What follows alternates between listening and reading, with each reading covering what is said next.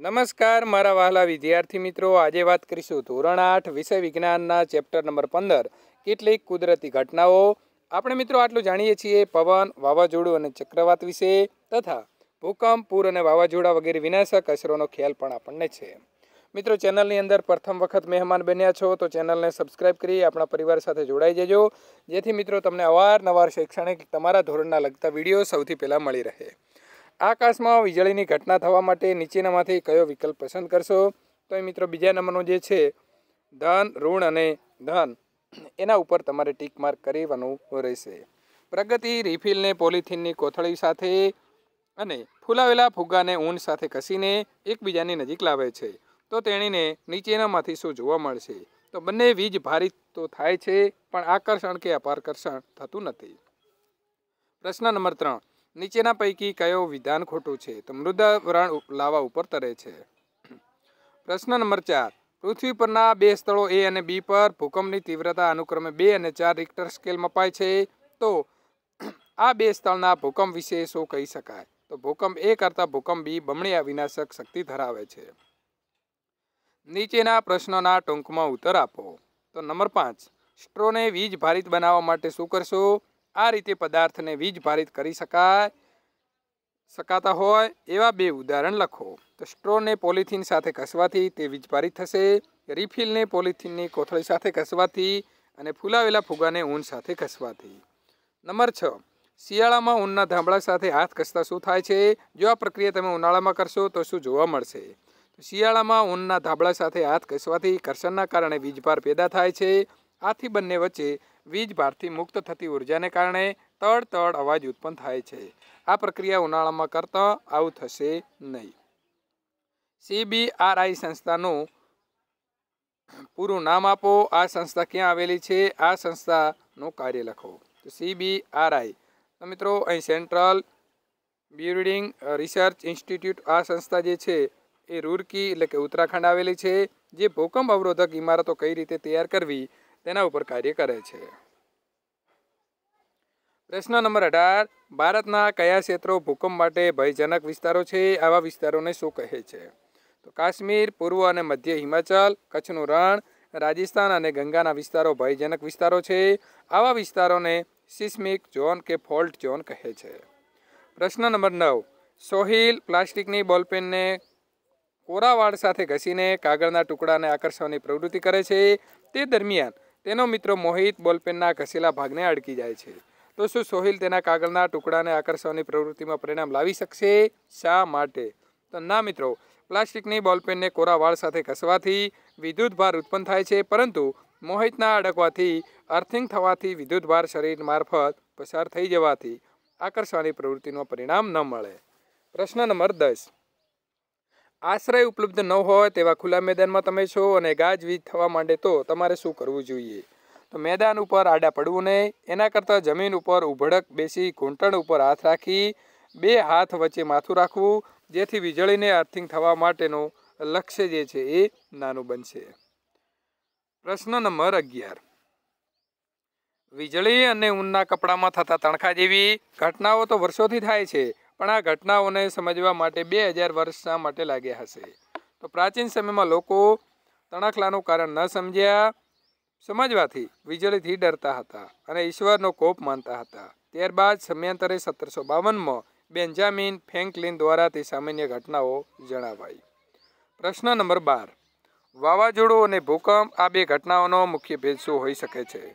તો ભૂકંપ એ આંતરિક ઘટના છે જે પૃથ્વીના પોપડાના વિક્ષોભ ઉત્પન્ન થવાથી થાય છે, જ્યારે વાવાઝોડું એ બાહ્ય ઘટના છે જે સામૂહિક દબાણથી ઉદ્ભવેલી ઘટના છે. પ્રશ્ન નંબર તેર. પૃથ્વીની સપાટી ઉપર આવતી ધુજારી માટે કઈ ઘટનાઓ જવાબદાર હોઈ શકે છે? તો પૃથ્વીની સપાટી ઉપર આવતી ધુજારીઓ માટે ભૂગર્ભીય ધડાકા, જ્વાળામુખી ફાટવી, પૃથ્વી ઉપર ઉલ્કા પડવી, ભૂગર્ભમાં ન્યુક્લિયર ધડાકાઓ વગેરે જવાબદાર છે? પ્રશ્ન નંબર ચૌદ. વીજ ભારના વાહનથી તમારા વર્ગખંડમાં ચાલતા ઉપકરણના નામ આપો. તો વીજ ભારનું વાહન વિદ્યુત પ્રવાહ સર્જે છે. તેનાથી ચાલતા ઉપકરણો, પંખા, ટ્યુબલાઇટ, બલ્બ, પ્રોજેક્ટ વગેરે. તમારી આસપાસ જોવા મળતા વીજળીના વાહકો જણાવો અને તેનું મહત્ત્વ લખો.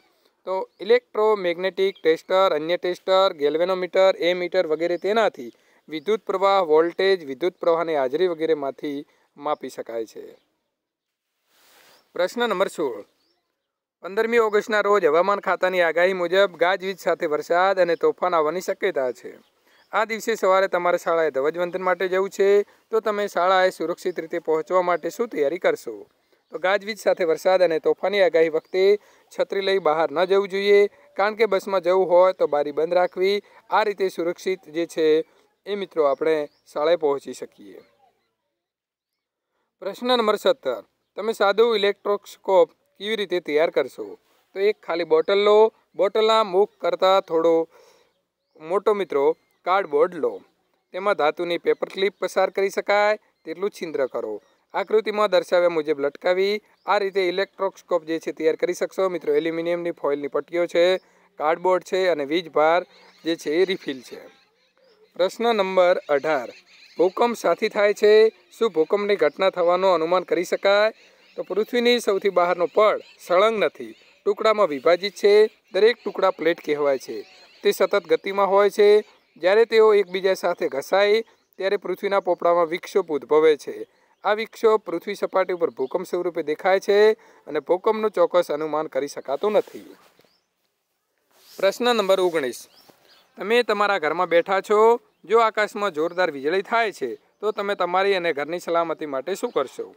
તો ટેલિફોન કે વિદ્યુત વાયરો, ધાતુની પાઇપ સાથેનો સંપર્ક ટાળવો, લેન્ડલાઇનનો ઉપયોગ ટાળવો મોબાઈલ વાપરી શકાય, વીજળીથી ચાલતા સાધનો પ્લગમાંથી કાઢી નાખવા. પ્રશ્ન નંબર વીસ. તમે ખુલ્લા વાહનમાં મુસાફરી કરી રહ્યા છો, ચોમાસાનો સમયગાળો હોય અને અચાનક વીજળીના કડાકા થવા લાગે, તો તમે શું કરશો? ખુલ્લા વાહનમાં મુસાફરી કરતા હોય ત્યારે વાહનમાં ઊભા રહેવાની સરખામણીમાં બેસી રહેવું અને બંને, તો ખુલ્લા વાહનના ભાગમાં પ્લાસ્ટિક ઢાંકી દેવું હિતવાહ છે. પ્રશ્ન નંબર એકવીસ. એક પ્લાસ્ટિકની બોલપેન લઈ તેને વેફરના રેપર સાથે ઘસો, ત્યારબાદ તેને હાથની રોવાટીની નજીક લાવો. તમને જોવા મળતા અવલોકનની નોંધ કરો. તો પ્લાસ્ટિકની બોલપેન વેફરના રેફર સાથે ઘસવાથી તે વીજભાર મેળવે છે અને રૂવાટી નજીક લાવતા રૂવાટીને આકર્ષે છે. પ્રશ્ન નંબર બાવીસ. રિક્ટર સ્કેલ એ શું છે? વિનાશક ભૂકંપ છે? એમ ક્યારે કહી શકાય? તો ભૂકંપની તીવ્રતા મૂલ્યને માપક્રમ ઉપર દેખાડતા એકમને રિક્ટર સ્કેલ કહે છે. વિનાશક વિનાશક હોય તેવી ભૂકંપની તીવ્રતા રિક્ટર સ્કેલની તીવ્રતા સાતથી વધુ હોય છે. પ્રશ્ન નંબર ત્રેવીસ. ઇમારત બનાવવા વિદ્યુતના સુવાહકોનો ઉપયોગ થયો હોય, છતાં વીજળીથી બચવા વિદ્યુત રક્ષકની જરૂર છે. શા માટે? તો ઇમારત પર વીજળી ત્રાટકવાનો ભય રહે છે. ઊંચી ઇમારત પર રાખેલ વીજળીનો વાહક વિદ્યુત સુવાહક હોય છે. આ વાહકનો અણીદાર છેડો ઇમારત કરતાં સહેજ ઊંચે રાખેલ હોય છે. બીજો છેડો જમીનમાં દાટેલો હોય છે, જેથી ઇમારતને વીજળીથી બચાવી શકાય. પ્રશ્ન નંબર ચોવીસ. ઇલેક્ટ્રોસ્કોપની રચનામાં ધાતુની પટ્ટીની જગ્યાએ એબોનાઇટના સળિયાનો ઉપયોગ કરવામાં આવે અને તેની નજીક વીજ ભારિત પદાર્થ લઈ જવામાં આવે, તો શું એલ્યુમિનિયમની પટ્ટીઓ કંઈ પર કંઈ અસર જોવા મળશે? શા માટે? તો ઇલેક્ટ્રોસ્કોપના બહારના ઉપરના ભાગે ધાતુનો સળિયો હોય છે, પદાર્થ વીજ ભારિત છે કે નહીં તે જાણવા માટે પદાર્થને આ સળિયા સાથે અડાડવામાં આવે છે.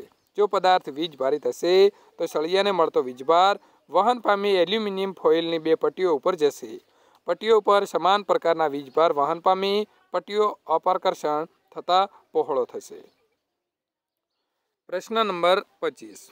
વિસ્તૃત મિત્રો, આ પ્રશ્નના જવાબ આપવાના છે. ભૂકંપ સલામત માળખું બનાવવા માટે તમે શું સલાહ આપી શકો? તમારા અભ્યાસના આધારે જવાબ આપો.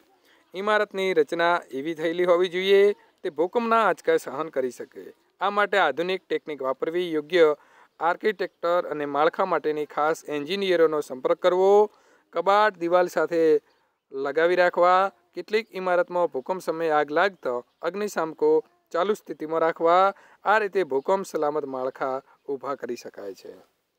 પ્રશ્ન નંબર છવ્વીસ. ભૂકંપની ઘટનામાં તમારી જાતને બચાવવા તમે શું પગલાં લેશો? જો તમે ઘરે હોવ તો ટેબલ નીચે આશરે લો, તુજારી બંધ ન થાય ત્યાં સુધી નીચે જ રહો. એટલે કે બેસી જ રહો મિત્રો. તમારા પર પડી શકે તેવી ઊંચી અને ભારે વસ્તુઓથી દૂર રહો. જો પથારીમાં હોય તો ઊભા ન થાવ તકિયાથી માથાનું રક્ષણ કરો. જો ઘરની બહાર હોય તો ઇમારતો વૃક્ષો અને વિદ્યુતની લાઈનોથી દૂર રહો. ખુલ્લા સ્થળે જમીન ઉપર બેસી બેસો. જો તમે કાર કે બસમાં હો તો બહાર ન આવો. ધીમે ધીમે વાહન ખુલ્લા સ્થળ પર લઈ જાઓ. પ્રશ્ન નંબર સત્યાવીસ. જે સાધનની મદદથી વીજભાર શોધી શકાય, તેની રચના સમજ આકૃતિ સહિત લખો. તો મિત્રો, અહીં વીજભારની રિફિલ પેપર ક્લિપ ખોલી કાઢેલી. ત્યારબાદ મિત્રો ફોઇલ પટ્ટીઓ લગાવેલી છે કાર્ડબોર્ડ છે અને કાચની બોટલ છે. તો પદાર્થ ઉપર વીજભાર છે કે નહીં, તે જાણવા માટે સાદું ઇલેક્ટ્રોસ્કોપ વપરાય છે.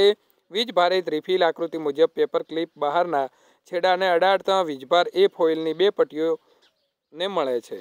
બંનેના સમાન વીજભાર મળતા પટ્ટીઓ વચ્ચે અપારકર્ષણ થાય છે અને એકદમ પહોળી થઈ જાય છે. પદાર્થ વીજ ભારથી ભારિત છે તેમ સૂચવે છે. જો આમ ન થાય તો પદાર્થ વીજ ભારિત નથી એવું સૂચવે છે. આમ સાદા ઇલેક્ટ્રોસ્કોપ દ્વારા જાણી શકાય છે. ત્યારબાદ પ્રશ્ન નંબર અઠ્યાવીસ. ભૂકંપના તરંગોને કયા પ્રકારના તરંગો કહેવાય? આ તરંગો નોંધવાની સાધનની સમજ આકૃતિ સહિત આપો. તો સિસ્મોગ્રાફ કહેવાય મિત્રો, અહીં દોરી, લોલક, ગોળ પેન, ત્યારબાદ ચુંબક, ભ્રમણ કરતું ડ્રમ અને આધાર આપેલો છે. ભૂકંપ આવે ત્યારે થતી ધુજારીને લીધે પૃથ્વી સપાટી ઉપર જે તરંગો સર્જાય છે, તેને સિસ્મિક તરંગો કહે છે. જેને સિસ્મોગ્રાફ નામના સાધન વડે નોંધવામાં આવે છે, તેમાં એક સાદો ધુજારી આપે તેવો સળિયો કે લોલક હોય છે. જે આંચકા વખતે ધુજારી પામે છે, આ ધુજારી વ્યવસ્થા સાથે પેન જોડેલી હોવાથી કાગળ ઉપર તરંગો નોંધાય છે. આ અભ્યાસથી ભૂકંપના સંપૂર્ણ નકશો તૈયાર થાય છે. પ્રશ્ન નંબર ઓગણત્રીસ. સમાન અને અસમાન વીજભાર વચ્ચેની આંતરક્રિયા સમજાવવાનો પ્રયોગનું વર્ણન કરો. તો હેતુ, સમાન વીજભારિત પદાર્થ એકબીજાને અપાર કરશે છે અને અસમાન વીજભારિત પદાર્થો એકબીજાને આકર્ષે છે તે દર્શાવવું. સાધનો, બે ફુગ્ગા, બે રિફિલ પોલિથીન, ઊનનું કાપડ, કાચનો પેલો અને દોરી. તો મિત્રો અહીં એ બી અને સી આપેલું છે. આ પ્રમાણે તમારે આકૃતિ દોરી અને લખવાના રહેશે. પદ્ધતિ. બે ફુગાલો એકબીજાને અડકે નહીં, તેમ નજીક દોરી બાંધી લટકાવો. બંનેને ઊનના કાપડ સાથે ઘસી મૂળ સ્થિતિમાં મૂકી દો. વપરાયેલ રિફિલ પોલિથીન સાથે ઘસી તેને કાળજીપૂર્વક કાચના પ્યાલામાં મૂકો. બીજી રિફિલને પોલિથીન સાથે ઘસી વીજ ભારિત રિફિલ નજીક લાવો. નંબર સી એક રિફિલને ઘસીને ઉપર મુજબ કાચના પેલામાં મૂકો. આ રિફિલ નજીક એક ફૂલેલા વીજ ભારિત ફુગ્ગો લાવીને ત્રણેય ઘટનાઓ માટેના અવલોકન નોંધો. અવલોકન. વીજ ભારિત ફુગ્ગાથી બીજો વીજ ભારિત ફુગ્ગો દૂર જાય છે. વીજ ભારિત રિફિલથી બીજી વીજ ભારિત રિફિલ દૂર થઈ જાય છે. વીજ ભારિત ફુગ્ગાને વીજ ભારિત રિફિલ નજીક લાવતા રિફિલ ફુગ્ગા ફુગ્ગાને નજીક આવે છે. નિર્ણય. બે સમાન વીજ ભારિત પદાર્થ એકબીજાને અપાર કરશે છે. અને બે અસમાન વીજભારિત પદાર્થ એકબીજાને આકર્ષે છે. તો અહીં સંપૂર્ણ સોલ્યુશન પૂર્ણ થાય છે. આવા સોલ્યુશન મેળવવા માટે મિત્રો ચેનલ સાથે જોડાયેલા રહેજો. વીડિયો પસંદ આવ્યો હોય તો લાઇક કરી તમારા મિત્રો સુધી શેર કરવાનું ભૂલશો નહીં.